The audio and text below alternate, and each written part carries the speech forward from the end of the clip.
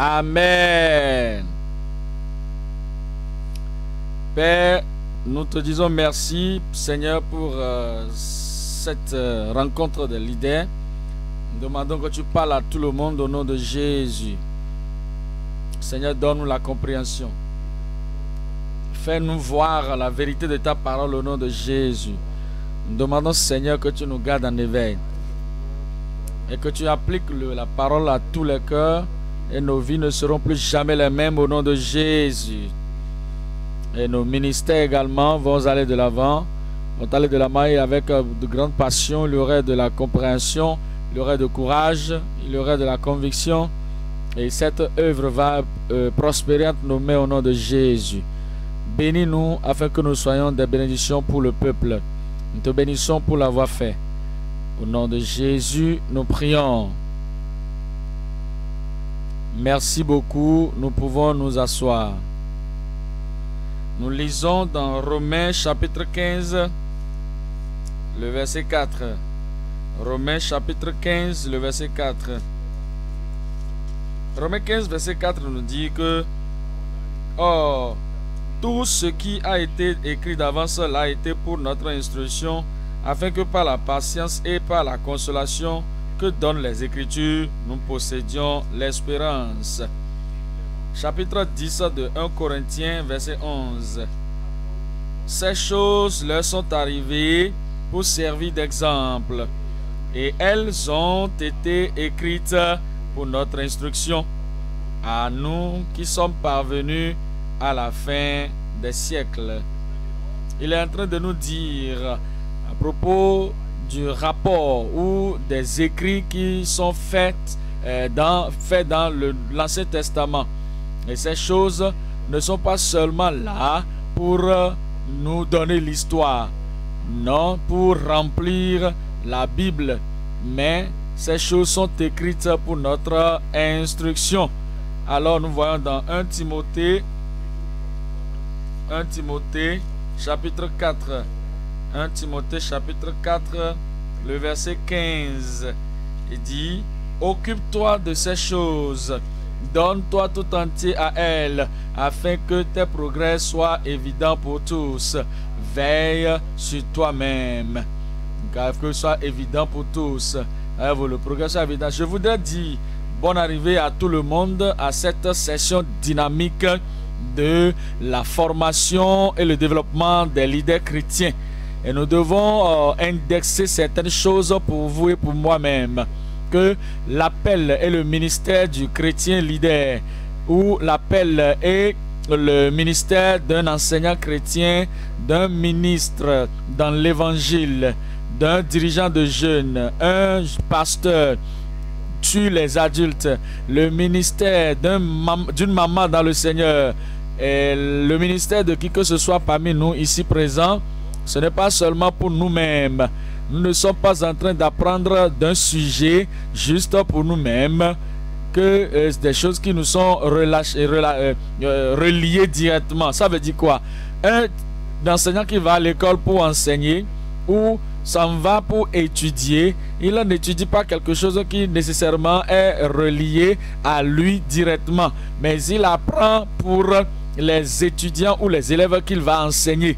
Non seulement cela, vous parlez d'un ingénieur.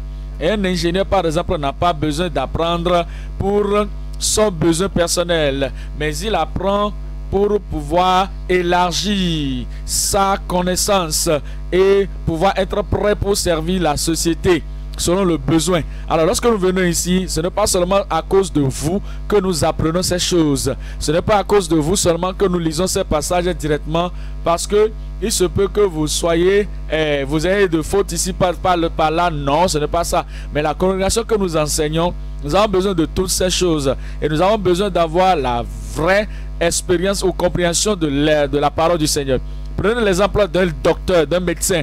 Le médecin ne limite pas ses connaissances euh, euh, sur les maladies dont il aurait, euh, j'allais dire, qu'il va rencontrer dans sa vie. Mais il peut dire, faire des suppositions, je peux rencontrer ceci, rencontrer cela, rencontrer cela. Et il apprend de sur ces maladies. Et ce n'est pas pour lui-même. Le prédicateur, le pasteur, le leader, l'enseignant n'apprend pas seulement pour lui-même, mais il apprend pour un champ élevé ou ben, plus large des gens. Il va aider les pécheurs et les saints. Alors il, apprend pour ces gens. Il doit enseigner ou conseiller les, conseiller saints et les, les, les pécheurs. Alors il doit apprendre pour être prêt pour eux. Il doit faire face aux forts et aux faibles, les sages et les ignorants, afin d'être en mesure d'aider les tentés et les solides. Il doit aider ceux qui sont fervents, il doit aider ceux qui sont tièdes. Et à cause de cela, ce qu'il apprend, c'est pour ses chants. S'il dit seulement, ah, ce sujet ne me concerne pas, parce que ça, ce n'est pas mon problème. Oh, ça peut ne pas être ton problème, mais tu apprends à cause de ta congrégation. Nous devons être en mesure d'enseigner, d'aider, de conseiller et d'encourager, d'avertir, d'être en mesure d'assister, d'être en mesure d'inspirer, de fortifier des Joseph dans nos congrégations qui ont fait face ou bien qui font face à la tentation. Nous devons être en mesure d'aider Samson qui est très fort, mais il est faible à un niveau donné. Nous devons aider les personnes comme Saül ou des Salomon dans nos congrégations. Il peut avoir quelqu'un dans votre congrégation qui est Daniel, qui a besoin de faire, de prendre un engagement ferme. Et vous devez savoir comment aider ce Daniel pour être ferme. Il peut être dans votre, il peut y avoir dans, dans votre congrégation Abigail ou Ruth, des Déborah dans votre congrégation. Et ce que vous apprenez, c'est pour être en mesure d'avoir quelque chose qui va aider chacun de ces personnes ou chacun chacune de ces, de ces personnes. Là, il y a des familles dans nos congrégations et ces familles ont besoin de l'avertissement, de la compréhension ou de l'enseignement. Tout ce que nous apprenons ici, c'est à cause de cela. Alors, lorsque vous venez pour euh, apprendre un sujet pareil dont nous voulons parler ce soir, ce n'est pas ah, est-ce que le pasteur pense que nous sommes aussi bas dans la compréhension? Non, pas du tout. Même si tu es plus parfait qu'un ange, la congrégation que tu diriges peut ne pas être aussi parfaite. Et toutes les personnes dans la congrégation ne peuvent pas être au même niveau. À cause de cela, nous avons besoin de la compréhension de l'enseignement et de, du conseil qui pourra nous aider à aider toute personne que nous avons. Et je prie que le Seigneur nous accorde la sagesse au nom de Jésus. Alors, parlant par exemple d'enseigner par rapport à, au cancer, le médecin vient et il euh, dirige une, un séminaire sur le cancer. Ça ne veut pas dire que toute la congrégation a le cancer. C'est pour nous préparer. En réalité, on nous a dit que on nous a toujours dit que la prévention vaut mieux que la, la, la cure ou la guérison. Alors, ce qui veut dire que s'il n'y a pas de problème, c'est bon. Mais lorsque vous savez, vous, vous mettez, vous vous aguerrissez et vous êtes prêt à faire face à ça pour le futur. Prenons ce sujet ce soir. Même si vous êtes plus parfait que les anges, je prie que vous prêtiez attention et que la parole pénètre chacune de nos vies au nom de Jésus. Je viens dans 1 roi 11. 1 roi chapitre 11, le verset 1. 1 roi 11, 1. La Bible dit, le verset 1 de, 11, euh, 1 roi 11, que le roi Salomon aima beaucoup de femmes étrangères, outre la fille de Pharaon, des Moabites, des Ammonites, des, des Édotiens, euh, des Édomites, les Sidoniens, les Hétiens, et les Hétiennes, les Sidoniennes, les Hétiennes, et euh, appartenant aux nations dont l'Éternel avait dit aux enfants d'Israël, vous n'irez point chez elles, et elles ne viendront point chez vous, elles tourneront certainement vos cœurs du côté de leur Dieu. Ce fut à ces nations-là que s'attacha Salomon, entraîné par l'amour. Et il eut 700 euh, princesses et 300 concubines. Et qu'est-ce qui s'est passé pour, euh, et, et, ces femmes détournaient son cœur. À l'époque de la vieillesse de Salomon, ces femmes inclinaient son cœur vers d'autres dieux et son cœur ne fut point tout entier à l'Éternel son Dieu, comme l'avait été le cœur de David son père. Et Salomon alla après Astarté, divinité des, Sidoniens, et après Milcom, l'abomination des Ammonites. Et Salomon fit ce qui est mal aux yeux de l'Éternel, et il ne suivit point en pleinement l'Éternel comme avait euh, comme David son père. Alors Salomon bâtit sur la montagne qui est en face de Jérusalem un haut lieu pour euh, l'abomination de Moab, et pour Moloch, l'abomination des fils d'Amon. Et il fit ainsi pour toutes ces femmes étrangères. Elles étaient combien? Donc ça veut dire que toutes les femmes, chacune avait euh, euh, une statue en l'honneur de son Dieu. Et chacune de ces femmes offrait des parfums à des et des sacrifices à leur Dieu. L'Éternel fit comment? Irrité contre Salomon. L'Éternel fut irrité. Il était en colère contre Salomon. Pourquoi? Parce qu'il avait détourné son cœur de l'Éternel, le Dieu d'Israël, qui lui était apparu deux fois. Ce soir, nous considérons le message suivant, le, la préservation du ministre pour un ministère durable. La préservation du ministre pour un ministère durable. Nous considérons trois points. Numéro un, la provocation évitable de la colère divine et la destruction de soi. La provocation évitable. Salomon n'avait pas besoin de faire toutes ces choses qu'il avait faites. Il pouvait éviter toutes ces choses qu'il avait faites. Et la provocation de Dieu à la colère, il pouvait ne pas l'amener. Dans beaucoup de nos vies, nous n'avons pas besoin de le faire. On n'a pas besoin de provoquer le Seigneur. Nous n'avons pas besoin de provoquer la colère de l'Éternel. C'est une provocation évitable de la colère divine. Alors, numéro qui dit que cela a mené à la destruction de soi. Voyez-vous 1 roi 11, le verset 9. 1 roi 11, le verset 9. La Bible dit au verset 9, l'Éternel fut irrité contre Salomon parce que son cœur avait, parce qu'il avait détourné son cœur de l'Éternel, le Dieu d'Israël, qui lui avait apparu deux fois ou bien qui lui était apparu deux fois. Qu'est-ce qu'il a fait? Nous avons déjà lu dans le verset 1 jusqu'au verset 9. Il a pris toutes ses femmes pour lui-même ou pour lui seul. En concernant la parole du Seigneur, la parole de Dieu nous a avertis et averti tous les Israélites généralement, tous ceux qui veulent devenir des rois au-dessus de la terre d'Israël, au-dessus des Israélites, Dieu leur avait déjà dit exactement ce qu'ils devaient faire et ce qu'ils ne devaient pas faire. Deutéronome, nous voulons considérer chapitre 17. Deutéronome 17, 17. Deutéronome 17, verset 17. Il dit au verset 17 qu'il n'est pas un grand nombre de femmes. Il parle du roi qui qu'il devait établir sur eux-mêmes, afin que son cœur ne se détourne point et qu'il ne fasse pas de grands amas d'argent et d'or.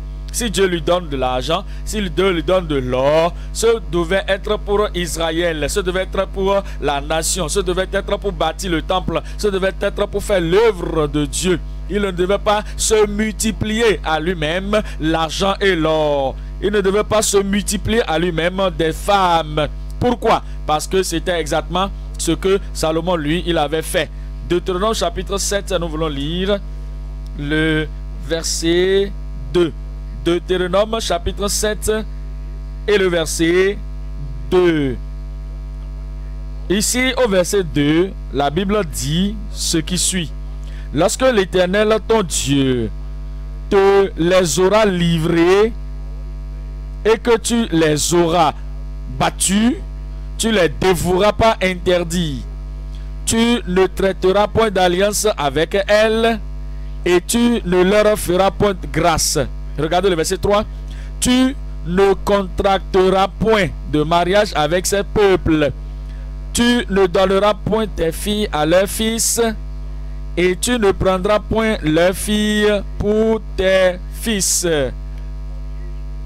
Car ils détourneront ou détourneraient de moi tes fils vous, le Seigneur était très clair. Lorsque vous allez sur la terre promise, vous ne devez pas épouser leurs filles, vous ne devez pas marier leurs garçons, et vous ne devez pas les prendre pour vos fils ni vos filles. Alors, vous devez être ainsi parce que la colère de l'Éternel s'enflammerait contre vous et il te détruirait promptement. Vous, ce n'était pas nécessaire pour Salomon de faire cela. Il connaissait la parole de Dieu. Il devait connaître cette parole comme cela se doit. Mais nous devons nous rappeler ces choses. Que ce n'est pas seulement cette chose qui avait irrité Dieu.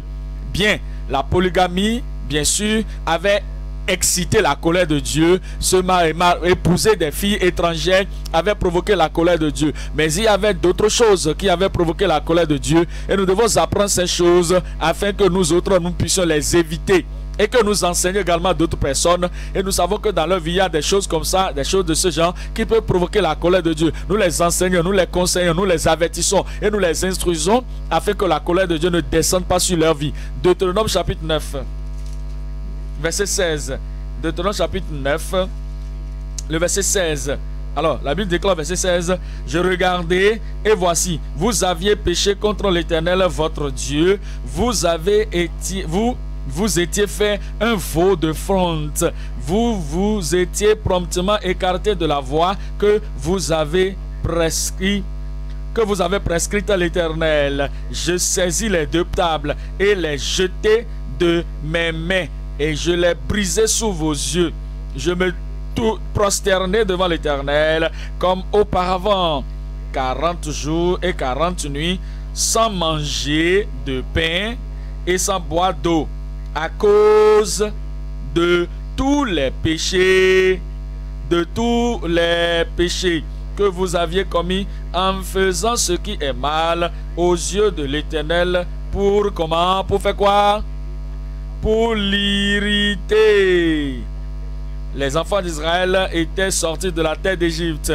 Et maintenant, à cause du fait que Moïse est allé à la montagne pour recevoir les tables de loi, avant son retour, ils, sont, ils ont érigé une idole. Et ils ont commencé par dire, et Israël, voici ton Dieu qui t'a fait sortir de la terre d'Égypte. Et il a dit ici que ceci a provoqué l'Éternel, ceci l'a irrité. Le verset 20. L'Éternel était aussi très irrité contre qui? Contre Aaron, qu'il voulait faire périr. Et pour qui j'intercédais encore dans ce temps-là. Pourquoi Dieu était-il en colère contre Aaron? Parce que Aaron était le leader à la maison lorsque Moïse était allé sur la montagne. Et le peuple est venu lui dire, fais-nous un Dieu, fais-nous un Dieu qui va nous, qui va nous suivre. Et parce que Moïse est allé sur la montagne, ça pas ce qui était, ce qui lui est arrivé. Mais lui, il était vraiment faible, faible comme un mollusque faible en conviction, faible avec l'épine dorsale, faible dans sa conviction. Et il ne pouvait pas dire non, ça ne peut pas être ainsi. Ça, c'est de l'idolâtrie. Il, n'avait pas pu se soulever contre ça. On ne doit pas adorer les idoles. Et lorsque Moïse est revenu pour dire Aaron, qu'as-tu fait? Il a dit Mais tu connais ce peuple, non ils, ont commencé par. ils m'ont menacé hein, de me lapider. Et je ne peux pas prendre ta position. Je ne peux pas accepter leurs critiques. C'est pourquoi j'ai fait ce qu'ils ont demandé toutes les fois que nous nous soumettons à la congrégation, toutes les fois qu'un leader, un dirigeant, un enseignant, un conseiller, un pasteur, lorsque quelqu'un se soumet à la congrégation, parce que c'est ce qu'ils veulent, parce que ce qu'elles veulent, et nous abaissons le standard, cela irrite Dieu contre nous. Et nous ne devons pas irriter le Seigneur. On n'a pas besoin de le faire. On n'a pas besoin de le faire. Nous avons besoin de tenir notre fermeté. Et là, la parole de Dieu dit, voici le chemin, marchez-y. Regardez à présent Nombre. Nombre chapitre 12. Il y a des choses qui provoquent la colère de Dieu. Des choses évitables, des choses évitables qu'on n'a pas besoin de faire. Nombre chapitre 12. Le verset 1. Marie et Aaron parlaient contre Moïse au sujet de la femme éthiopienne qu'il avait prise.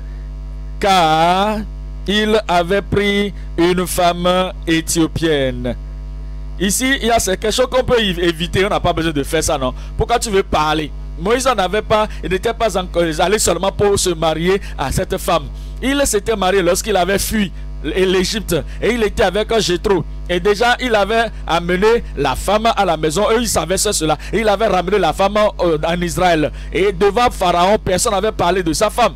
Et alors, et il les a fait traverser la terre, la mer rouge. Personne n'a parlé de, de, sa, de sa femme. Mais lorsque la jalousie est rentrée dans leur vie et ils ont voulu parler, parler, parler seulement, ils ont cherché quelque chose à parler. Est-ce que c'est à Moïse seulement que Dieu parle? Et après tout, il n'est pas allé épouser une femme éthiopienne Regardez-moi ceci, regardez-moi ceci. Le verset 2.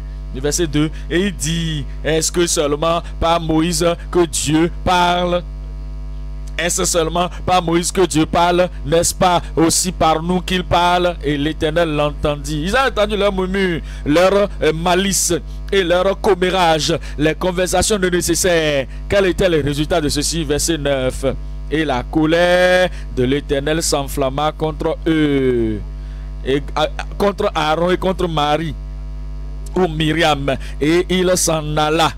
Et la nuée se retira de dessus la, la tente, et voici Marie était frappée d'une lèpre blanche comme la neige. Aaron se tourna vers Marie, et voici, elle avait la lèpre.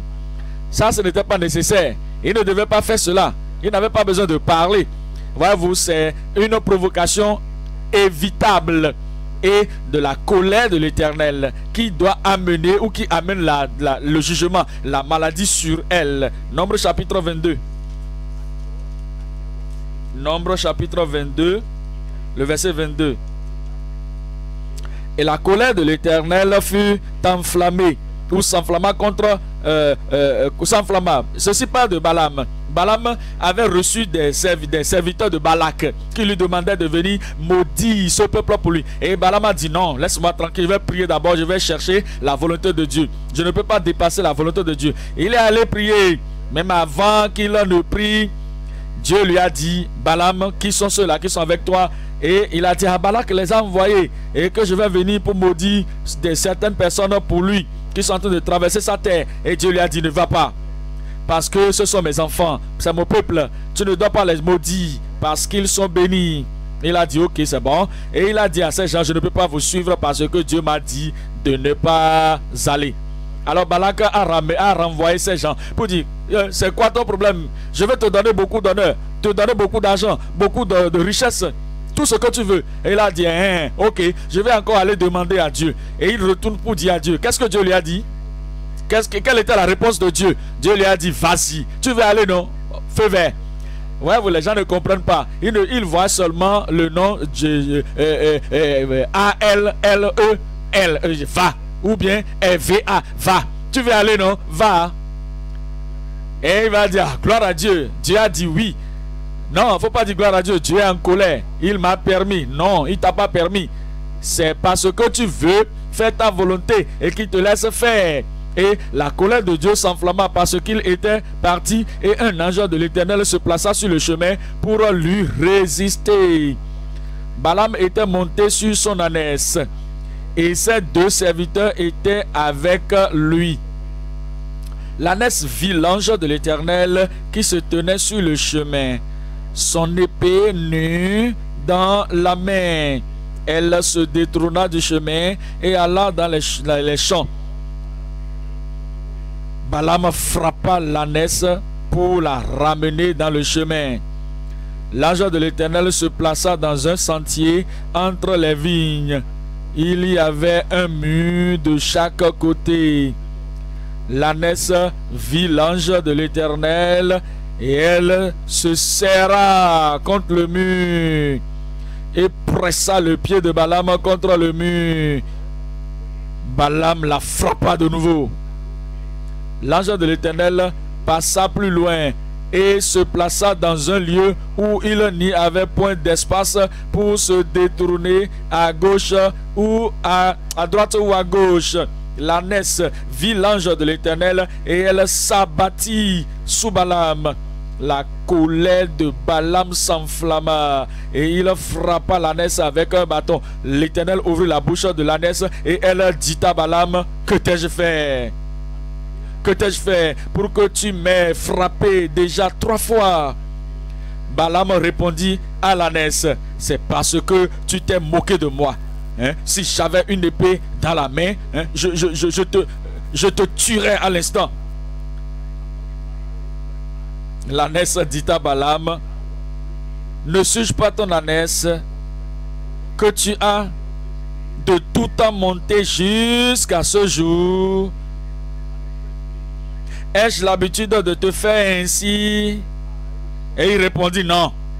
L'Éternel ouvrit les yeux de Balaam et Balaam vit l'ange de l'Éternel qui se tenait sur le chemin. Son épée comment? Son épée nue dans la main. Et il s'inclina et se prosterna sur son visage. L'ange de l'Éternel lui dit, pourquoi as-tu frappé ton ânesse déjà trois fois? Voici, je suis sorti pour te résister, car c'est un chemin de perdition qui est devant moi. L'ânesse m'a vu et elle s'est détournée devant moi déjà trois fois. Si elle ne se fût pas détournée de moi, je t'aurais même tué et je lui aurais laissé la vie. Balaam dit à l'ange de l'Éternel, j'ai péché, j'ai péché, j'ai péché car je ne savais pas que tu te fusses placé au-devant de moi sur le chemin. Et maintenant, si tu me désapprouves, voyez encore cela, voyez encore cela.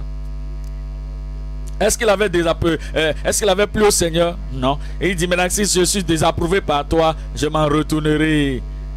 Euh, des choses qui provoquent le Seigneur, qui irritent le Seigneur. Dieu a dit ce n'est pas la voix. Il a dit dans sa parole, il a dit à travers le pasteur, il a dit au travers la prédication, il a dit au travers le conseil, il a dit au travers le, comité de mariage, il a dit au travers tout le monde. Ça, ce n'est pas la voie qu'il faut suivre. Malgré cela, nous allons vers Dieu pour dire Seigneur, est-ce que c'est bon? Est-ce que je vais prier? Je vais prier, jeûner. Que les gens viennent prier avec moi et jeûner. Et Dieu a dit ce n'est pas la voie. Malgré cela, nous voulons toujours poursuivre cette voie alors cela provoque la colère de Dieu. Et ce n'est pas nécessaire, c'est évitable. Et, je ne devais pas faire ceci, mais c'est évitable. De Samuel, de Samuel 3.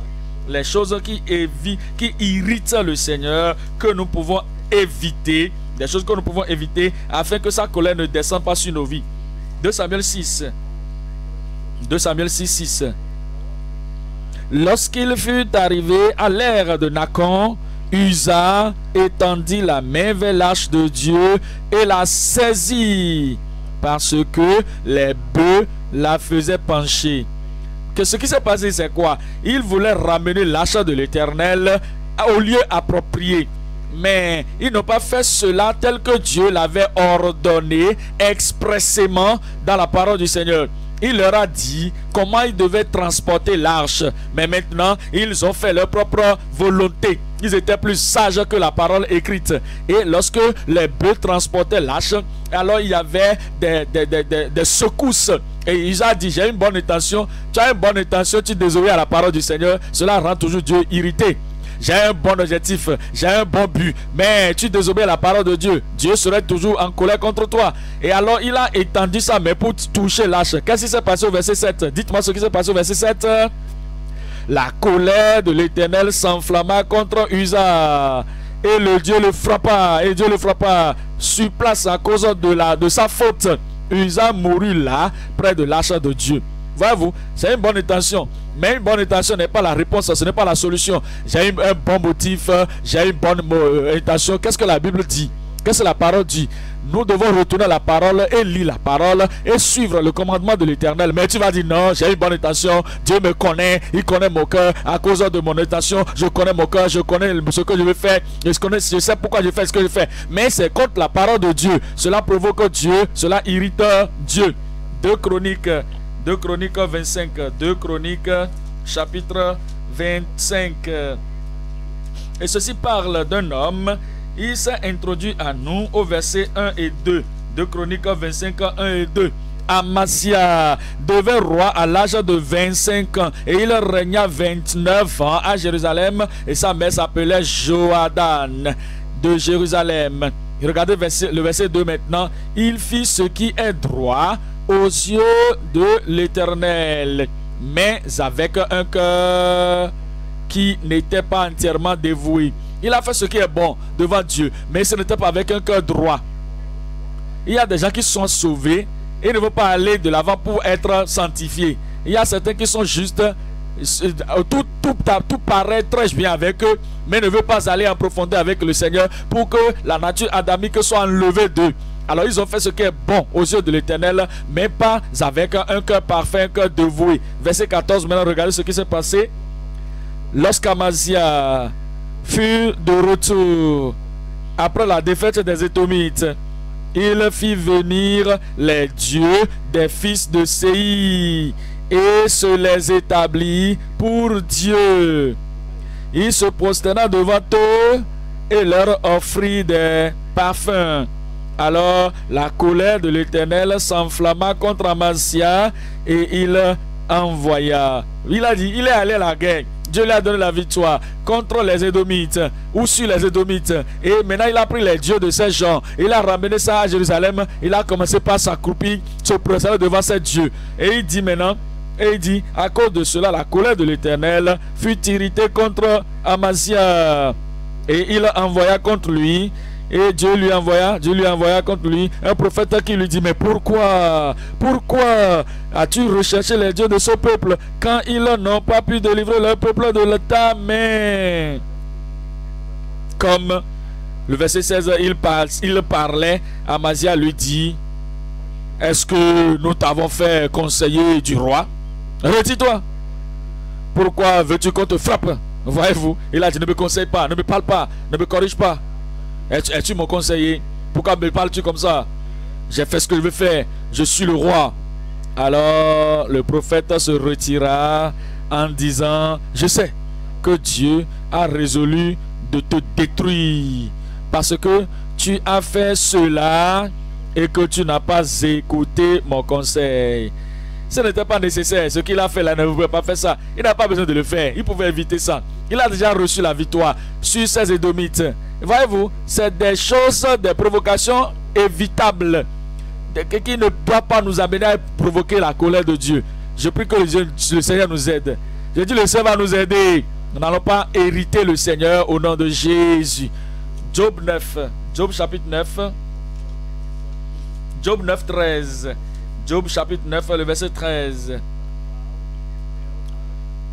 Il dit Dieu ne retire point sa colère, sous, lui s'inclinent les appuis de l'orgueil. Dieu ne retire point sa colère. Si Dieu dit à quels que soient euh, les gens qui prient pour toi, quels que soient ceux qui vont se lever pour t'aider, quels que soient ceux qui vont essayer d'aider de te, euh, essayer de te faire sortir du jugement de Dieu, il a dit que ce serait seulement en vain. Ce en vain. Dieu, lorsque vous irritez le Seigneur, ça ne marchera pas. Job 21, verset 17.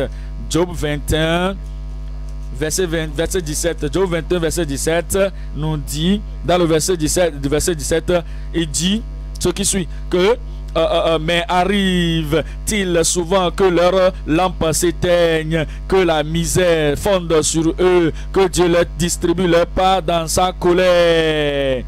Dieu leur distribue sa part, leur part dans sa colère. Voyez-vous, qu'il soit comme la paille emportée par le vent, comme la balle enlevée par le tourbillon. Somme 7, verset 11. Somme 7, le verset 11. Nous allons lire ceci ensemble. Somme 7, le verset 8 à 8 secondes. Est-ce que vous êtes là? 1, 2, 3, lisez.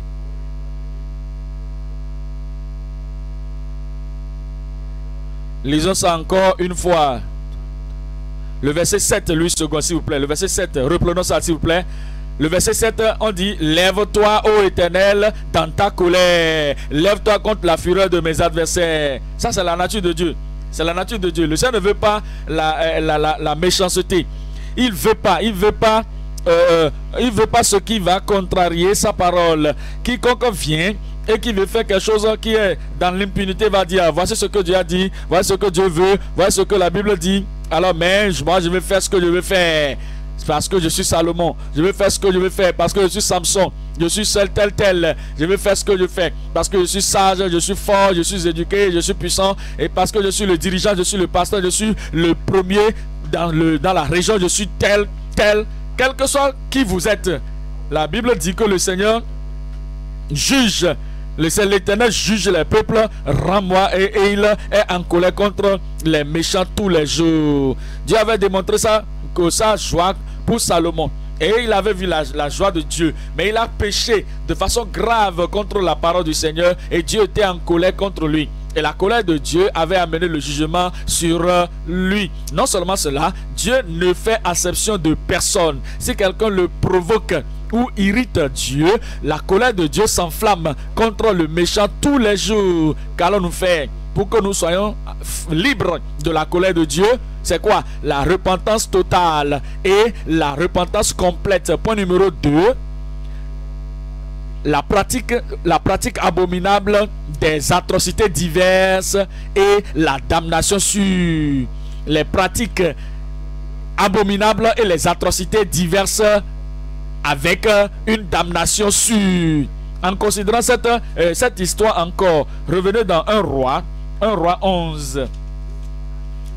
En considérant un roi, chapitre 11, vous allez découvrir les actions délibérées de Salomon qui étaient des abominations, des abominations, c'est-à-dire des provocations terribles contre le Seigneur et contre ce que Dieu avait dit. Mais malgré ça, il est allé, il a fait ce qu'il a fait. Regardez un roi chapitre 11, le verset 1. Le roi Salomon aima beaucoup de femmes étrangères. La Bible continue disant, et ensemble, eh bien, outre la fille de Pharaon, regardez le commencement. La fille de Pharaon, ça veut dire qu'il est retourné en Égypte. Et il a dit des Moabites, des Ammonites, des Édomites, des Sidoniennes, des Hétiennes, appartenant aux nations dont l'Éternel avait dit aux enfants d'Israël, vous n'irez point chez elles. Le Seigneur avait déjà été clair. La parole de Dieu a été déjà claire. Vous n'irez point chez elles. Et elles ne viendront point chez vous. Elles, certainement, elles, certainement, tourneraient vos cœurs du côté de leur Dieu. Salomon s'est attaché à ces nations. Ce fut à ces nations que Salomon s'attacha entraîné par l'amour. Et il eut 700 princesses pour femmes et 300 concubines. Et les femmes et ces femmes détournaient son cœur, tel que la parole de Dieu l'a dit. C'est arrivé ainsi. Quelle que soit la sagesse que vous avez, vous ne pouvez pas être plus sage que la parole du Seigneur. Parce que la parole du Seigneur est la sagesse de Dieu. Et quel que soit ce que vous avez comme sagesse en tant qu'humain, ça ne peut pas être euh, égalé, la, ça ne peut pas égaler la sagesse de Dieu. Dieu a dit que ces femmes vont te détourner de moi. Et c'est exactement ce qui est arrivé. Au verset 4, à l'époque de la vieillesse de Salomon, cela est arrivé que ces femmes l'inclinaient. Voyez-vous, inclinaient son cœur vers d'autres dieux et son cœur ne fut point tout entier à l'éternel son Dieu comme l'avait été le cœur de David son père. Regardez le verset 9. L'Éternel fut, dites-moi haute voix, l'Éternel fut irrité contre qui? Mais il aimait auparavant, non? Mais si Dieu avait aimé quelqu'un, est-ce que Dieu peut se mettre encore en colère contre la personne? Bien sûr que oui. Bien sûr que oui. Il était né de nouveau. Moi, je ne parle pas de Salomon maintenant, mais je dis quelqu'un, il était né de nouveau. Et Dieu l'a aimé. Maintenant, il s'est détourné de Dieu. Il va dans le péché. La colère de Dieu retourne contre lui quelqu'un avait été sanctifié. Il avait tout déposé sur l'autel. Et maintenant, il retourne dans le péché, dans l'adoration d'idole. Il retourne dans la désobéissance contre la parole du Seigneur. La colère de Dieu va se lever contre cette personne. Quelqu'un, il était là, il était utile. Et il a bâti ceci, bâti cela comme temple pour le Seigneur. Et il retourne encore dans le péché. Il ne sait plus Dieu. Alors Dieu est en colère contre lui. Quelqu'un a prié. Quelqu'un a mené la gloire de Dieu, la gloire euh, de, de, de, de, de Dieu sur, euh, euh, le peuple. Il a joué d'instruments. Il a fait, il a chanté. La gloire de Dieu est descendue. Quel grand amour de Dieu pour lui. Et Dieu, il a prié. Dieu va lui dire, oh, j'ai entendu sa prière. Et je peux faire ceci, faire cela pour toi. Ma faveur est sur ce peuple. Malgré cela, cet homme se détourne de Dieu et combat contre la parole de Dieu. La colère de Dieu va se lever contre celui-là. Dieu n'a pas de favori. Hein? Il vous aime lorsque vous l'aimez.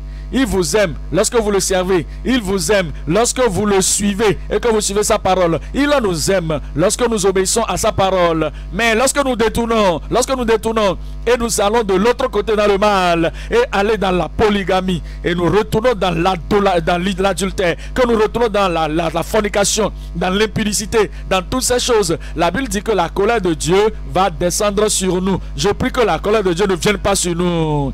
Cela veut dire quoi? Nous prions que nous n'allons pas rétrograder, nous n'allons pas faire le mal.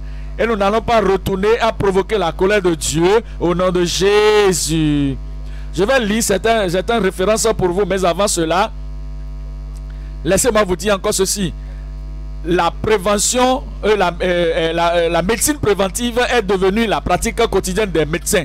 Ça veut dire quoi? Les médecins n'attendent pas que nous attrapons, nous, nous attrapons les maladies, les incurables avant qu'ils ne viennent à nous soigner. Même nos parents aujourd'hui, ils font beaucoup d'efforts pour nous protéger contre l'abomination morale. Écoutez-moi ceci, afin et dans lesquels eux-mêmes ils sont tombés auparavant. Dieu nous a fait de nous des leaders, des pasteurs, des pères en Israël, des mères en Israël. Vous savez, le point est ceci. Même si le père a fait quelque chose de mauvais auparavant et qu'il avait souffert à cause de cela, il s'est repenti. Il ne voudrait pas que cette souffrance descende sur son fils ou sur ses enfants. Alors il va avertir ses enfants. La même chose, une mère. Une mère pouvait, euh, peut avoir fait des choses mauvaises et maintenant elle s'est repentie. Elle sait que euh, je connais le Seigneur, il n'y a plus de condamnation pour elle. Mais elle va euh, avertir sa fille que voici, fille, faut pas faire ceci pour que cela ne l'arrive pas. Nos leaders, nos dirigeants, nos pasteurs doivent encore avertir leur congrégation à propos des péchés damnables, même s'ils ont été, s'ils ont été euh, euh, coupables par, le, de par le passé. Regardez-moi ici, le pasteur peut avoir fait quelque chose de mauvais. Il a commis le péché. Il a été discipliné.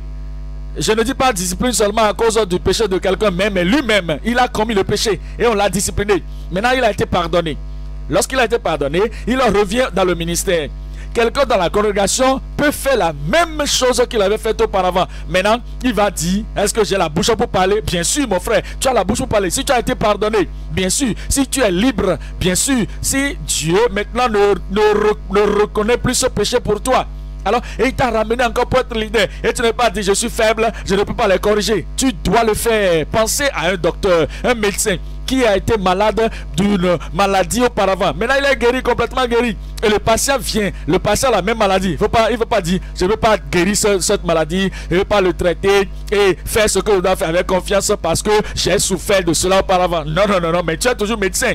Tu es médecin, tu es médecin. Et tu dois euh, euh, agir envers cet individu cet individu qui est tombé dans un puits auparavant et qui a été sauvé de ce puits, il doit toujours avertir les autres pour ne pas tomber dans ce puits, dans ce même puits. Parlons par exemple d'un fils prodige qui a été restauré dans l'adoration avec le Père dans sa maison. Et à cause de ce qu'il est restauré, il est libre. Il n'est plus un enfant prodige. C'est ça, non? Alors, maintenant, lorsqu'il est pardonné, qu'il est restauré, il est juste. Et à cause de ce qu'il est juste, il revient à la maison. Il n'est plus dans un pays étranger. Il n'a plus de culpabilité. Mais s'il apparaît qu'il devient un leader, s'il apparaît qu'il devient pasteur, il doit prêcher. Et il doit prêcher la parole du Seigneur. Je dis, il doit prêcher la parole du Seigneur. Il doit avertir, il doit avertir, il doit conseiller, il doit corriger. Il doit enseigner, il doit reprendre avec assurance, avec, euh, avec euh, pudeur et dire ce qu'il doit dire sans se référer à son passé.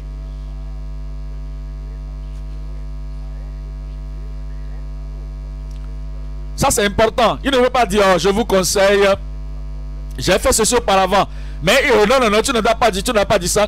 Les médecins ne nous disent pas ça pour dire que tu as un problème. Le médecin veut te traiter. Et le médecin ne va pas te dire, ah, tu sais, auparavant, avant que moi je te traite là, moi-même, euh, il y a un an passé, maintenant, j'étais complètement terrassé. Et tu vas te demander, est-ce que celui-là peut me traiter? Le médecin a oublié cela déjà parce que déjà, il est déjà en santé ou en bonne santé et il va te traiter la même chose. Si vous avez fait quelque chose auparavant, Dieu vous a pardonné, vous êtes complètement libéré maintenant. Vous devez prêcher avec assurance, vous devez prêcher avec audacité et vous ne devez pas vous minimiser et minimiser ce que vous voulez faire. Si vous devez discipliner quelqu'un, parce que la personne est incorrigible. Vous ne devez pas dire, est-ce que moi je peux discipliner quelqu'un parce que voici ce que moi j'ai été auparavant. Non, ça c'est passé, c'est pardonné, c'est oublié, ce n'est plus là. Et à cause de ce que vous êtes libre, vous voilà, vous êtes là, vous êtes en, droit avec Dieu. Vous devez aider l'autre personne à sortir de cette chose. Vous allez le faire. Et vous allez le faire efficacement au nom de Jésus. Alors, vous êtes un pasteur, vous devez prêcher, vous devez avertir, vous devez conseiller, vous devez corriger, vous devez enseigner, vous devez reprouver. Et vous devez le faire avec assurance et fermeté, sans avoir peur. Et vous devez le faire sans vous référer à votre passé. Et vous devez administrer, prêcher au peuple et dire au peuple ce qu'ils doivent avoir avec courage, avec compréhension. Maintenant, avec cela, regardons ce que le Seigneur est en train de nous dire. Déjà, nous avons lu cela. Nous allons lire encore cela dans Deutéronome chapitre 7 Deutéronome chapitre 7. Ici, c'est ce que le Seigneur a ordonné. C'est ce que le Seigneur a dit dans sa parole que nous devons enseigner à la congrégation et à vos enfants, les propres enfants qui ne sont pas encore mariés. Dites-leur ceci. Et même euh, vos convertis, s'ils ne sont pas encore euh, mariés, il faut leur dire ceci. Regardez la parole du Seigneur et ne devons pas euh, nous, nous rebrousser chemin par rapport à ceci. Ça, c'est ce qui a ruiné Salomon. Il ne va pas ruiner votre vie. Il ne va pas ruiner vos enfants. Il ne va pas ruiner vos convertis et ruiner notre église. Regardez ceci, ce qu'il a dit dans Deutéronome chapitre 7, le verset 3. Il dit, tu ne contracteras point de mariage avec ces peuples. Tu ne le feras pas. Tu ne donneras point tes filles à leurs fils. Regardez-moi ici. Donner votre fille en mariage, c'est votre responsabilité, père, mère. Ce n'est pas la responsabilité du comité de mariage. Le comité de mariage peut conseiller, peut euh, donner des avertissements, prier, faire tout ce qu'il peut faire. Mais donner votre fille en mariage, cela n'engage que vous. Si vous dites, hein, moi je n'ai pas de l'aide, mes mains sont liées, qu'est-ce que je peux faire? C'est ce qu'ils veulent. Alors ta responsabilité est engagée et tu dois donner ta fille à quelqu'un qui n'est pas la volonté de Dieu. Dieu va te tenir responsable. Regardez le verset 3 tu ne contracteras pas de mariage avec ces peuples et tu ne donneras pas tes filles à leurs fils. Et tu ne prendras pas leurs filles pour tes fils. Ça, c'est votre responsabilité. Si vous dites bien, ça, c'est ma condition. Regardez ce que je suis en train de faire maintenant. mon enfant a dit, mon garçon a dit, voici la fille que je veux marier. Si cette fille n'est pas une chrétienne, si cette fille n'est pas appropriée pour vous, si vous n'avez pas le feu vert, et vous allez dans votre cœur et vous permettez à ce que cela soit, vous êtes responsable et vous ne pouvez pas jeter le temps sur quelqu'un d'autre. Je prie que le Seigneur nous rende courageux. Certains ne sont plus courageux dans leur famille. Ils ne sont plus courageux dans l'église. Ils ne sont plus courageux dans la congrégation. Ils sont là seulement, ils voient les choses se passent. Ils vont jeter tout sur mariage, comité de mariage, comité de mariage. Non, non, non, non, non. Ce n'est pas leur responsabilité, c'est votre responsabilité. Regardez 2 Corinthiens, 2 Corinthiens chapitre 6. 2 Corinthiens 6, lisons le verset 14. 2 Corinthiens chapitre 6, le verset 14. 2 Corinthiens 6, verset 14. Écoutez bien la parole de Dieu qui est très claire. Même dans le Nouveau Testament, que le croyant ne doit pas être sous un joug étranger avec un incroyant. Il a dit dans le verset 14, ne vous mettez pas avec les infidèles sous un joug étranger. Car quel rapport y a-t-il entre la justice et l'injustice? Ou qu'y a-t-il de commun entre la lumière et les ténèbres? Il dit, quel accord y a-t-il entre Christ et le Bélial? Ou quel est la part que l'infidèle a avec le fidèle. Quel rapport y a-t-il entre le temple de Dieu et les idoles? Car nous sommes le temple de Dieu vivant, comme Dieu l'a dit. J'habiterai parmi eux, je marcherai parmi eux, et je serai leur Dieu, et ils seront mon peuple. C'est pourquoi, c'est pourquoi, qu'est-ce qui suit? Sortez du milieu de tous ces gens qui sont là, ils disent qu'ils ont connu la volonté de Dieu quelque part et la personne qui veut l'amener, ils ne comprennent même pas le salut. Ils ne peuvent même pas dire la racine, les branches du salut. Ils ne peuvent pas dire et dire la consommation, la consommation du salut. Ils n'ont aucune conviction, ils n'ont aucun témoignage de leur salut. Sortez du milieu de... Et ne mettez pas votre main dedans. Ne mettez pas votre voix dedans. Ne mettez pas votre, euh, euh, euh, acceptation dedans pour dire c'est ce qu'ils veulent. Nous les acceptons. Non. La Bible dit sortez du milieu de... Ne, séparez-vous, dit le Seigneur. Ne touchez pas à ce qui est impur. Et c'est à cela que je vous, je vous accueillerai. Je serai pour vous un père. Et vous serez pour moi mes fils et mes filles, dit le Seigneur, le Tout-Puissant. Quelqu'un n'a qu'à dire là-bas comment? Amen. Le Saint de nous dit dans 1 Corinthiens chapitre 10, 1 Corinthiens chapitre 10, lisons là le verset 8. 1 Corinthiens chapitre 10 et le verset 8. La Bible dit au verset 8, ne nous livrons point à l'impudicité. Ne nous livrons pas à l'impudicité. L'adultère, c'est se mettre là. Et l'adultère est là. L'immoralité est là. La fornication est là quel que soit le péché qui entraîne la chair, ne le faites pas. Comme quelques-uns d'eux s'y livrèrent de sorte qu'il en tomba combien parmi Combien? 23 000 en un seul jour. Le Saint de nous avertit que l'immoralité est toujours un péché. C'est toujours une iniquité. La fornication est toujours un péché, c'est toujours une iniquité. L'adultère est toujours un péché, c'est toujours une iniquité. Et devant le Seigneur, c'est interdit. Vous ne devez pas le faire.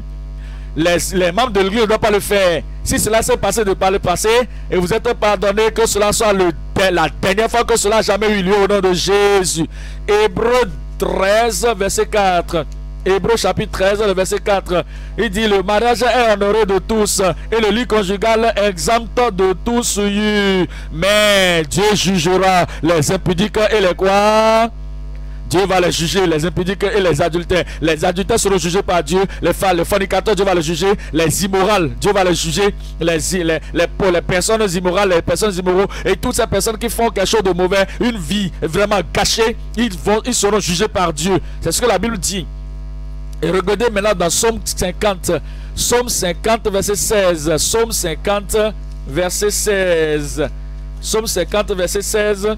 La Bible dit 50, verset 16 que maintenant, et Dieu dit aux méchants, quoi donc Tu énumères mes lois et tu as mon alliance à ta bouche. Là, il y a des gens qui ont la connaissance de la Bible, mais ne peuvent pas vivre selon la parole qu'ils sont en train de prêcher. Il n'y a pas de sainteté dans leur vie. Il n'y a pas de justice dans leur vie. Il n'y a pas l'obéissance à la parole de Dieu dans leur vie. Et le Seigneur dit aux méchants, il dit aux rétrogrades, il dit aux pécheurs, il dit à celui-là qui est en train de prendre la parole de Dieu, qu'est-ce que tu veux faire? Tu énumères mes lois et tu as mon alliance à la bouche toi qui hais les, avis, qui jette mes paroles derrière toi, si tu vois un voleur, regarde ceci, tu te plais avec lui. Et ta part est avec les quoi? Les adultères. Il n'est pas un adultère, mais il se plaît avec les adultères. Il supporte les adultères. Il, il court derrière l'adultère. Il encourage les adultères. Et il dit que si tout le monde vit, le laisse, si tout le monde euh, le, fuit, qui va l'aider à revenir. Et il vient encore pour prêcher. Il vient pour dire encore qu'il est ministre. Et on va lui dire, qu'est-ce que tu veux faire pour prêcher ma parole, toi qui supportes les adultères? Verset 19, tu livres ta bouche au mal. Et ta langue est un tissu de ton prix tu s'assieds, tu t'assieds et tu parles contre ton frère, tu, tu diffames le fils de ta mère. Voilà ce que tu as fait et je me suis tué. Tu t'es imaginé que je te ressemblais, mais je vais te reprendre et tout mettre sous tes yeux. Regardez le verset 22 maintenant. Prenez-y donc garde. Vous qui oubliez Dieu, de peur que je vous déchire et que personne ne délivre. Voilà, vous Dieu est en colère contre ces choses. Il est en colère contre le support de l'adultère, de, de, la fornication, de l'idolâtrie, euh, de, l'immoralité et de l'impudicité. Il ne faut pas dire nous les supportons à cause de cette raison, à cause de l'autre raison. Il ne faut jamais les supporter. Proverbe chapitre 6. Proverbe chapitre 6, le verset 23. Proverbe chapitre 6 et le verset 23 car le précepte est une lampe et l'enseignement une lumière. Et les avertissements et la correction sont le chemin de la vie. Ils te préserveront de la femme corrompue, préserver l'enfant de Dieu, le ministère, l'âme sauvée, pour te préserver de la femme corrompue, de la langue euh, doucereuse de l'étranger. Ne la convoite pas dans ton cœur pour sa beauté et ne te laisse pas séduire par ses paupières car pour la femme prostituée, on se réduit. Il dit, un, homme se réduit en un morceau de pain. Et la femme mariée tend un piège à la vie précieuse. Quelqu'un peut-il du, euh, mettra-t-il du feu dans son sein sans que son vêtement s'enflamme? Quelqu'un peut-il marcher sur des charbons ardents sans que ses pieds ne soient brûlés? Il en est de même pour celui qui va vers la femme de son prochain. Quiconque, un Salomon, quiconque un Samson, quiconque un leader, un, lecteur, quiconque la touche, qu'est-ce qui suit? Ne restera pas impuni. Le, verset 32. Celui qui commet un adultère avec la femme, euh, une femme est dépourvu de sens. Celui qui le, celui qui veut se perdre agit de la sorte. Celui qui veut Qui veut se perdre agit de la sorte. Il n'aura que plaie et ignominie et son opprobre ne s'effacera point. Car la jalousie met un homme en fureur et il est sans pitié au jour de la vengeance. Il n'a égard à aucune rançon, rien du tout. Et il est inflexible quand même tu multiplierais les dons. La parole de Dieu est très claire par rapport à cela et le Saint de nous avertit que vous ne devez pas vous mettre dans ce péché, dans quelque mal que ce soit. Marc chapitre 10, Marc 10, 2. Marc chapitre 10, le verset 2. Les pharisiens l'abordèrent et pour l'éprouver, ils lui demandèrent s'il est permis à un homme de répudier sa femme. Il leur répondit que vous a prescrit Moïse. Moïse, dire-t-il, a permis, il nous a donné la permission d'écrire une lettre de divorce et de répudier la femme. Jésus leur dit, c'est à cause de la dureté de votre cœur que Moïse vous a donné ce précepte. Mais au commencement de la création, Dieu fit l'homme et comment combien d'hommes? Et la femme, combien de femmes? Un homme, une femme. Et c'est à cause de cela que l'homme quittera, l'homme singulier, quittera son père et sa mère singulier. L'homme quittera sa mère, l'homme singulier, et s'attachera à sa femme singulière la femme, l'homme, un plus un, les deux maintenant, et les deux, les deux. C'est seulement un, une femme et un homme. Il n'y a pas de polygamie permis dans la, pensée de Dieu, la, la volonté de Dieu, le rame de Dieu. Une seule chair sont-ils devenus? Ainsi, ils ne sont plus deux, mais ils sont devenus seule chair. Que personne, donc on ne sait pas, pas, que personne ne sépare pas ce que Dieu a joint. Lorsqu'il fut dans la maison, euh, les disciples l'interrogeaient encore là-dessus et il leur dit, verset 11, celui qui répudie sa femme, celui qui répudie sa femme et qui en épouse une autre, qu'est-ce qui se passe? Qu'est-ce qui s'est passé? Il commet quoi? Un adultère à son égard. Et si une femme quitte son mari, répudie son mari et en épouse un autre, qu'est-ce qu'elle a fait? Elle commet un adultère. La parole de Dieu est très claire. Lorsque vous venez à ceci dans le Nouveau ou l'Ancien Testament, vous verrez la parfaite volonté de Dieu. Et vous verrez ce que Dieu exige, ce que nous devons enseigner, ce sur quoi nous devons mettre l'emphase. Ne pas supporter en aucune manière que ce soit. Il s'en devait le mariage, il est sorti de l'église et il est en train de faire ce mariage là-bas maintenant. Mais nous savons que ce ne, ça ne vient pas de Dieu. C'est non scripturaire. N'avons pas dit, hein, c'est bon, ce n'est pas grave. Je ne vais pas comme membre de l'église, je ne vais pas comme euh, dirigeant je vais comme un ami. Tu es un ami d'un adultère et tu supportes l'adultère et tu supportes le mal et tu accuses ce qui appartient au Seigneur. Alors, il dit que qu'est-ce que tu as maintenant pour venir parler de Dieu lorsque tu es comme ça? Je prie que nous nous repentions au nom de Jésus. Regardez dans Romains 7, dans Romains chapitre 7, le verset 2. Romains 7, verset 2. Il dit, dans le Romains 7, verset 2, Romains 7, verset 2. Il dit, Romains 7, verset 2, j'en arriverai. Il dit, ainsi une femme mariée est liée par la loi à son mari tant qu'il est vivant. Mais si le, si le mari meurt, elle est dégagée et la loi qui, euh, de la loi qui la liait à son mari. Si donc du vivant de son mari, elle devient la femme d'un autre homme, elle sera appelée comment?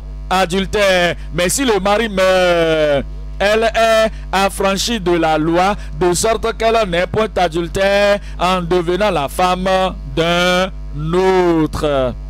Le Seigneur a rendu cela très clair. Et le Seigneur dit que nous devons nous repentir si nous voulons aller au ciel. Nous devons nous repentir si nous étions en train de supporter des gens qui sont en train de vivre une vie vraiment euh, promiscueuse et qui sont en train de mener une vie euh, vraiment adultère. Et nous disons, hein, en tout cas, ils, sont là depuis très longtemps. Hein, et ils sont là, nous sommes là pour le Seigneur. Et nous allons aider la parole du Seigneur pour l'Église. Non, non, non, vous n'aidez pas Dieu. Vous êtes en train de détruire l'œuvre. Et nous allons nous repentir. Je prie qu'en vous repentant, le Seigneur va avoir pitié de nous. Et sa bonté sera sur nos vies au nom de Jésus. Nous considérons Apocalypse chapitre 2. Apocalypse chapitre 2, le verset, le verset 20. Apocalypse chapitre 2 et le verset 20.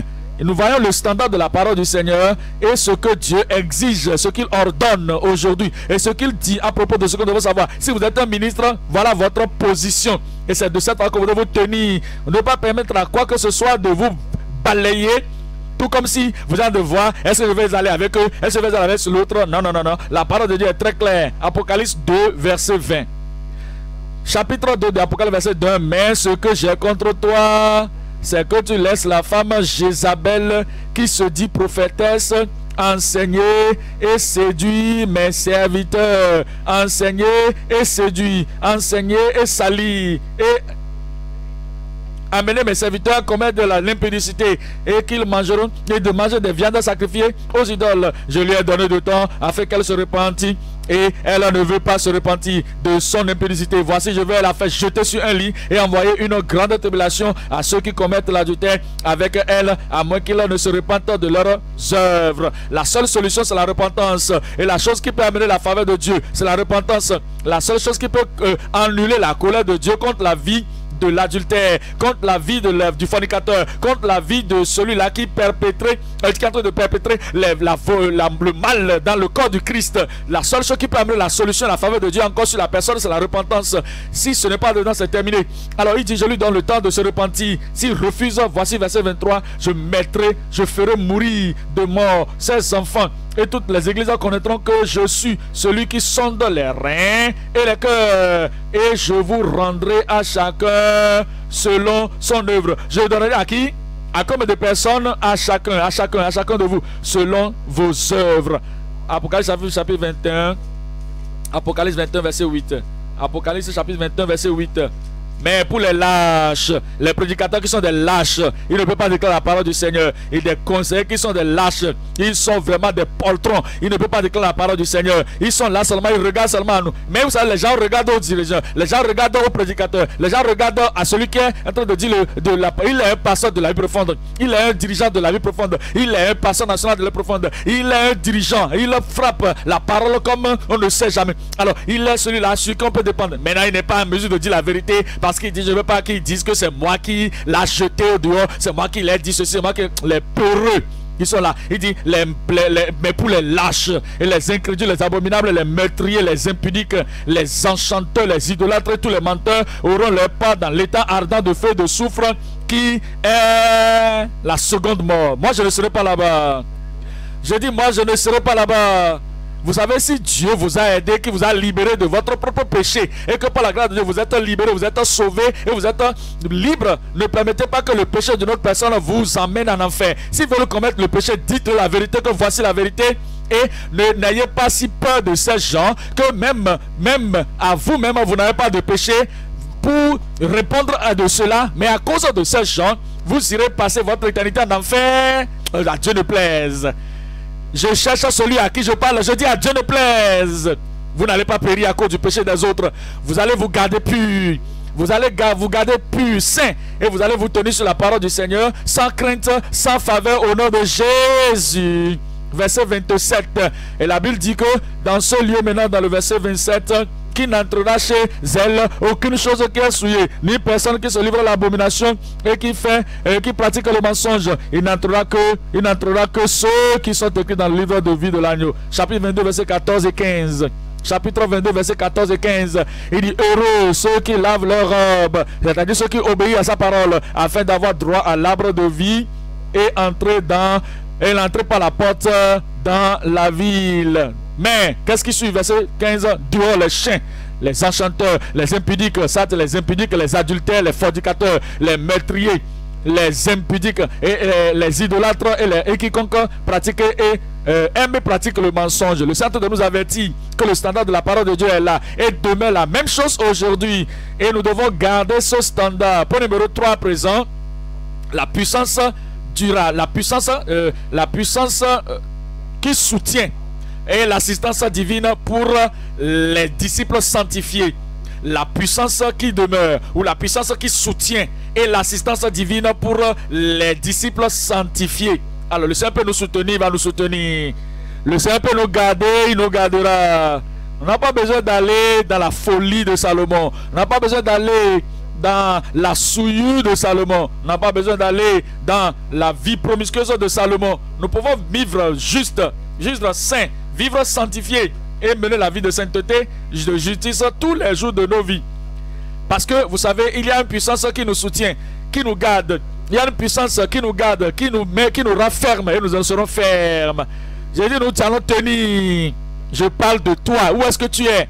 Toi, tu vas tenir. Regardez Hébreu 1. Hébreu 1, 3. Hébreu chapitre 1, verset 3. Hébreu 1.3 nous dit que et qui étant le reflet de sa gloire et l'empreinte de, sa personne et soutenant toutes choses par sa parole, sa parole puissante. L'univers est tenu par le Seigneur. Et euh, si l'univers est tenu par le Seigneur, il peut nous garder également, nous qui sommes les croyants, et qui, euh, euh, soutenant toutes choses par sa parole puissante, a fait la purification des péchés et s'est assis à la droite de la majesté divine dans les lieux très hauts. Il va vous aider. Ésaïe 41. Ésaïe chapitre 41, le verset 10. Ésaïe 41, le verset 10. Ésaïe 41, verset 10. Il dit, ne crains rien, vous n'allez pas craindre, vous n'allez pas tomber, ne crains rien, vous n'allez pas euh, faire naufrage de votre foi, ne crains point, vous n'allez pas rétrograder. Je dis que vous n'allez pas rétrograder. Je parle de qui? Vous n'allez pas rétrograder. Ne crains rien, car je suis avec toi. Ne promets pas de regards inquiets, car je suis ton Dieu. Je te fortifie. Je viens à ton secours. Je te soutiens de ma droite triomphante. Voici ce que dit le verset 13. Car moi, je suis l'Éternel, ton Dieu, je fortifie, qui fortifie ta droite et qui te dit, ne crains rien, ne crains rien, ne crains rien. Je viens à ton secours, il va vous aider. À tout moment, il va vous aider. Lorsque la tentation vient, il va vous aider. Lorsque la confusion vient, il va vous aider. Lorsque vous avez, vous êtes à un croisement de chemin, où est-ce que je vais aller? Où est-ce que je vais aller? Le Seigneur vous parlera parce que vous êtes précieux à ses yeux. Regardez Ésaïe 49. Ésaïe 49, le verset 8. Ésaïe 49 et le verset 8. Il dit ainsi par l'Éternel, au temps de la grâce, je t'exaucerai et au jour du salut, je te secourai. Je te secourai. Est-ce qu'il va vous aider? Je te garderai et je t'établirai pour traiter alliance avec le peuple, pour relever le pays et pour distribuer des héritages désolés. Il continue disant pour dire aux captifs.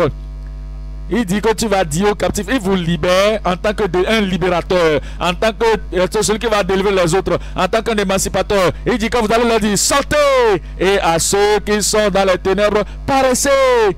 Ils pèteront sur les chemins et ils trouveront des pâturages sur tous les coteaux. Ils n'auront pas faim et ils n'auront pas soif. Le mirage et le soleil ne leur feront point souffrir, car celui qui a pitié d'eux sera leur guide et il les conduira vers des sources d'eau. Le Seigneur vous guidera et le Seigneur vous conduira, conduira également vous convertir au nom de Jésus. Comment ça va s'arriver Comment ça va arriver? Que nous qui sommes des prédicateurs, nous allons tenir ferme. Comment cela va se passer? Que nous aidons également ceux que nous, nous sommes en train de diriger, ceux, que nous, ceux à qui nous prêchons, ceux à qui nous donnons des conseils, afin qu'eux aussi puissent tenir. La puissance va venir et cela commence numéro 1 avec la délivrance sûre. La délivrance sûre. Le Seigneur est allé au caverne et il a déjà versé le sang. Il a fait le sacrifice et à cause du sacrifice, il nous donne une délivrance sûre, le pardon complet, le pardon total, la libération totale. Il nous libère complètement du péché. Il nous a dit dans Luc chapitre 1, Luc 1, 20, 75. Luc 1, 75, afin de nous donner, après que nous sommes sauvés, délivrés, il dit que il m'a délivré. Il nous a délivré de nous permettre, verset 74, Luc 1, après que nous serions délivrés de la main de nos ennemis, de le servir comment? Sans crainte, en marchant dans avec lui dans la sainteté et dans la justice tous les jours de nos vies. La délivrance est arrivée. La délivrance sur Galates 1, Galates 1, Galates 1, Galates 1, verset 4. Galates chapitre 1, le verset 4. Galates 1, chapitre, chapitre 1 de Galates, verset 4. Qui s'est donné lui-même pour nous, pour nos péchés, afin de nous arracher de la, euh, de nous arracher du présent cercle mauvais selon la volonté de Dieu, notre, euh, de la volonté de notre Dieu et Père la délivrance sûre. Non seulement cela, il y a également les disciples sanctifiés. Les disciples sanctifiés. Vous n'êtes pas seulement satisfait avec je suis sauvé, sauvé. Vous êtes sauvé, c'est bon. Vous devez dépasser cela. Et vous devez aller au calvaire encore une fois. Et vous plongez encore dans le, sang de l'agneau encore une fois. Et vous allez tout déposer sur l'autel une fois encore. Et vous consacrez encore au Seigneur. Et parce que il y a la sanctification pour les disciples. Dans Ephésiens chapitre 5, le verset 25. Ephésiens 5, 25.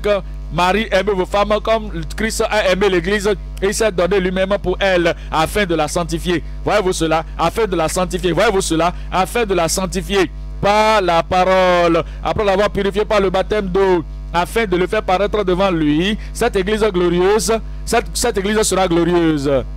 Je dis notre Église sera glorieuse, libérée de tout ce qui est adamique. Et cette église sera libérée de toutes ces choses qui euh, amènent des gens la propre, la, euh, l'attirance vers le péché. Lorsque nous sommes sauvés, sanctifiés, l'attirance vers le péché, l'attirance vers le mal, toutes ces choses sont enlevées et emportées afin de lui faire paraître cette église glorieuse sans tache, ni ride, ni rien de semblable, mais sainte et irrépréhensible. Dieu merci, cela va arriver. Dieu merci, cela s'est arrivé. Et alors, lorsque nous sortons pour aller parler à notre congrégation, cela va arriver également à eux. Vous allez prêcher avec courage, vous allez prêcher fermement, vous allez prêcher avec conviction et cette chose va être transférée à eux et nos églises seront justes. Nos églises seront saintes, nos églises seront sanctifiées au nom de Jésus. Hébreu 2, Hébreu chapitre 2, le verset 11. Hébreu 2, le verset 11. Car celui qui sanctifie, il fait encore cela aujourd'hui dans, le, présent continu.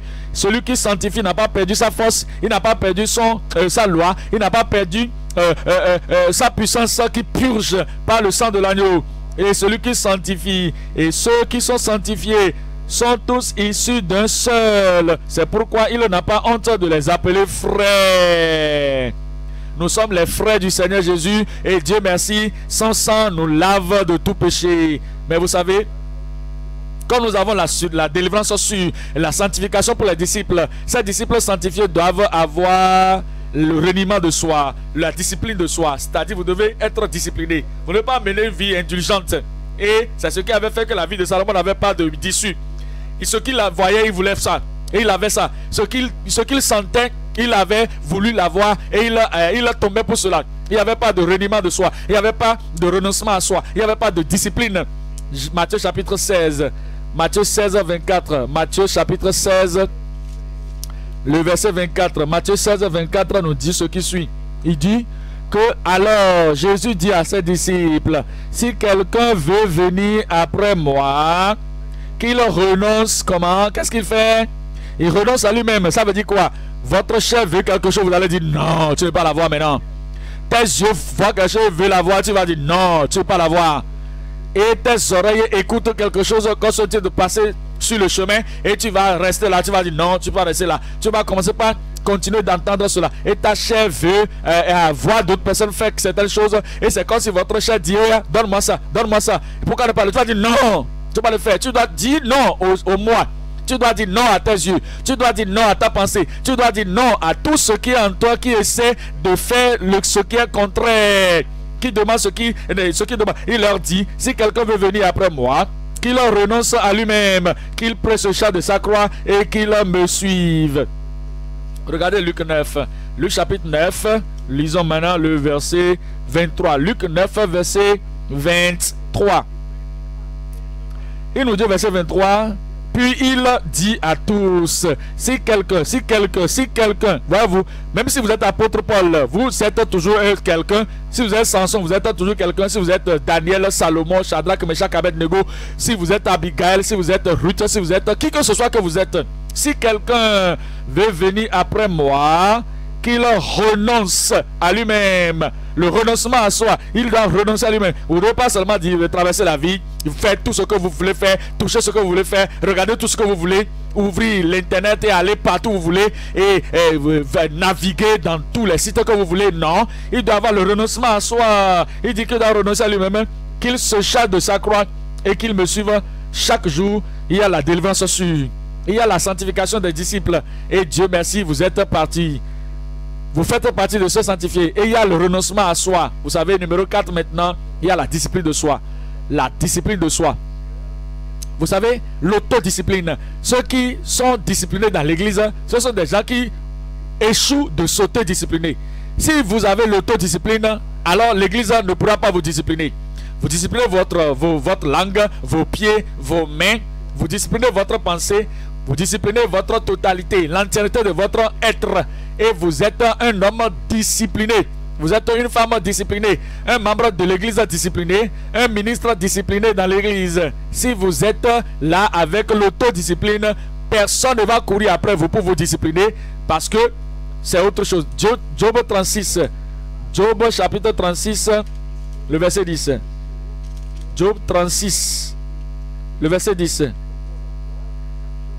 Il les avertit pour leur instruction. En lisant la parole du Seigneur, cela nous démontre, je dois me discipliner dans ce domaine. Je dois me discipliner dans ce, dans ce domaine. Je dois me discipliner dans ce domaine. Verset 10. Il les avertit pour leur instruction. Il les exhorte à se détourner de l'iniquité. Vous devez vous détourner du mal. Détournez vos oreilles de regarder ces choses souillées. Détournez votre pensée de cette chose. Détournez votre personnalité de vous associer avec cette chose. Retournez-vous. Et il nous dit même, dans le verset euh, euh, de, façon personnelle dans Job 31. Job 31, la discipline de soi, l'autodiscipline. Job 31, le verset 1. J'avais fait un pacte avec mes yeux et je n'aurais pas arrêté mes regards sur une vierge. Ça, c'est l'autodiscipline. Ça, c'est l'autodiscipline. Et vous devez avoir cet accord avec vous-même pour dire que je ne le ferai pas. La décision sacrée la décision sacrée. Vous savez, il y a des gens, ils n'ont aucune chose qui est sacrée pour eux. Qu'est-ce que nous appelons sacré? Ça dit que ceci là, c'est non touchable, c'est intouchable. Vous ne pouvez pas venir au-dessus de cela. Vous devez vous, vous, un cercle autour de vous. Vous tracez une ligne et vous dites je ne peux pas dépasser cette limite. Je suis ministre, un homme éloigné loin de Dieu un enfant de Dieu. Je suis appelé du ciel et je trace un cercle autour de moi. Et je dis, je ne sortirai pas de ce cercle. Voici les décisions que j'ai prises. Voici, c'est sacré pour moi. Personne ne peut toucher ceci pour moi. Personne ne peut toucher ceci. Personne ne peut tourner autour de ceci. Il y a une décision sacrée. Je prie que cela prenne en effet dans votre vie. Regardez Daniel, Daniel chapitre 1, Daniel 1, Daniel 1, 8. Daniel chapitre 1, le verset 8. Ici, c'est quelque chose que Daniel a dit. Et il dit que, quel que soit là où je suis, Babylone, Jérusalem, quel que soit là où je vais, partout où je vais dans le monde, cette chose-là, c'est sacré pour moi. Et même Nebuchadnezzar ne peut pas toucher ceci. Daniel chapitre 1, le verset 8. Daniel résolu de ne pas se souiller par les mets du roi et par le vin dont le roi buvait et il pria le chef des eunuques de ne pas l'obliger à se souiller. Daniel a dit, non, ça c'est un, lieu que tu ne peux pas toucher. Ça c'est zone militaire. Tu ne dois pas aller là-bas. Alors ça c'est de cette façon que ma vie va être conduite. Alors, même Nebuchadnezzar ne peut pas changer ceci. Ça, c'est une décision sacrée. Est-ce que vous avez de décisions dans votre vie? Est-ce que vous avez quelque chose qui a décidé que ce que je suis, voilà, et ça ne se peut jamais changer pour moi. C'est ce que je vais faire, c'est ce que je ne vais pas faire, c'est ce que je peux toucher. Ça là, je ne vais pas toucher cela. Là, je peux aller, je ne vais pas aller là-bas de l'autre côté. Ceci, je ne pas regarder ceci, que quelqu'un soit là ou non.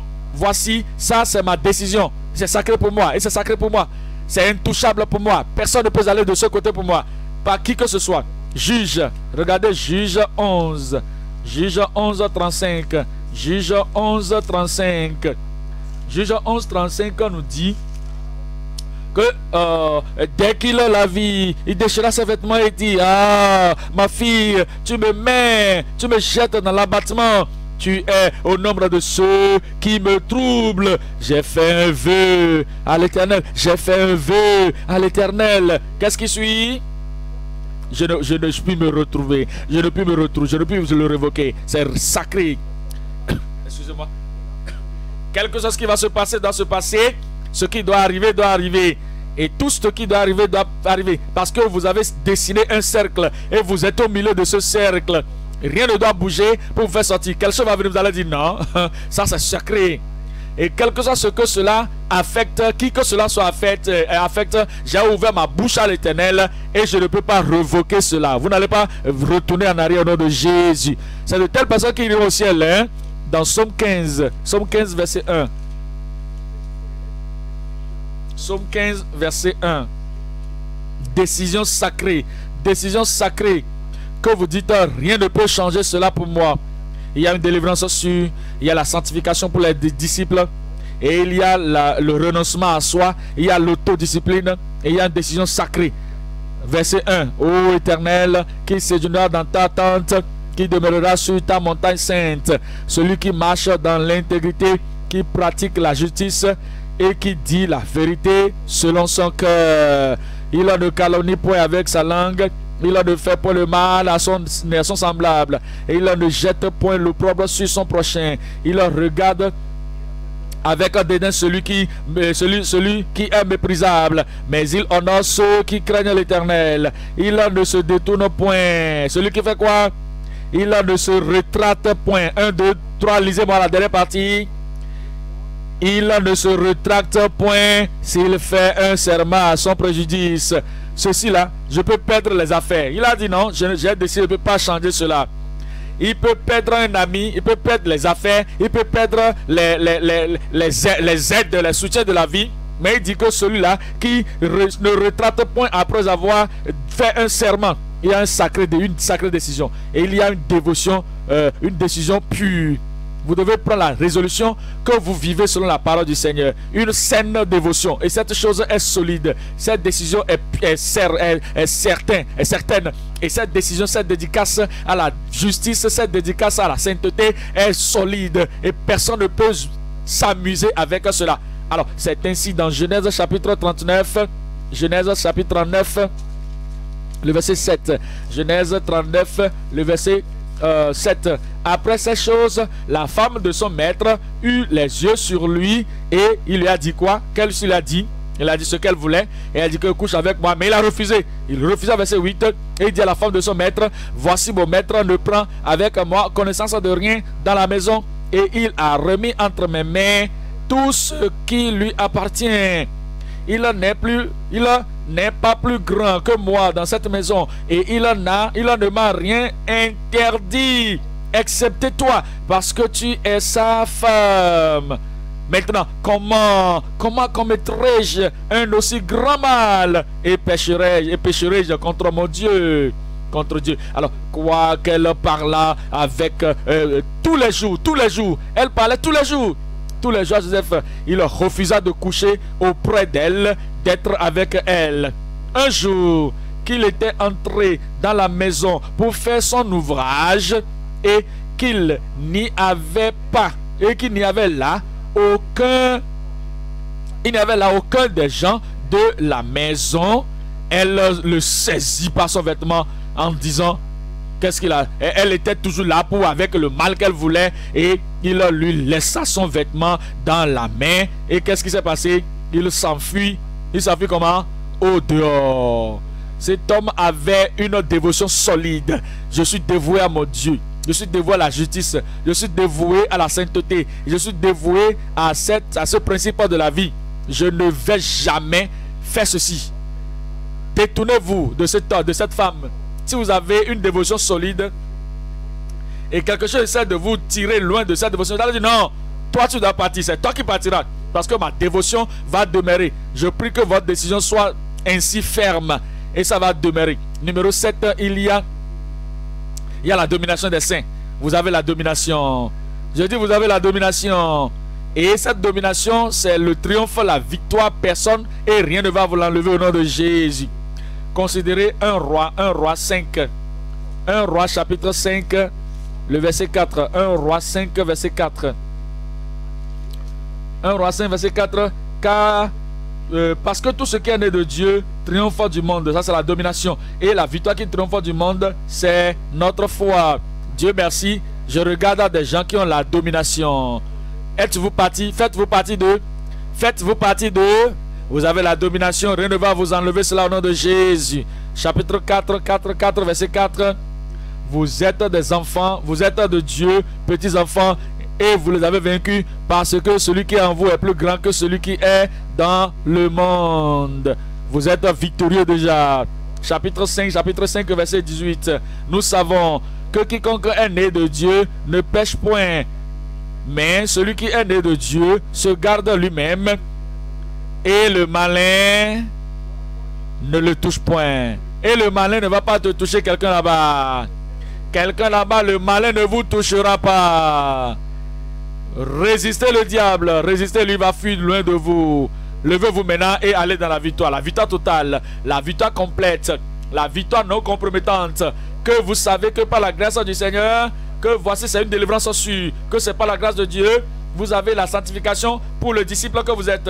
Par la grâce de Dieu, vous êtes prêt pour le renoncement à soi. Par la grâce de Dieu, vous êtes un autodiscipliné. Par la grâce de Dieu, il y a une décision sacrée. Et par la grâce de Dieu, il y a une dévotion solide et saine. Et vous avez la victoire des saints, la victoire des saints, la domination des saints. Et vous avez le triomphe des saints. Priez, parler à Dieu et être sûr que cette dévotion est là, que l'autorité est là, que la domination est là.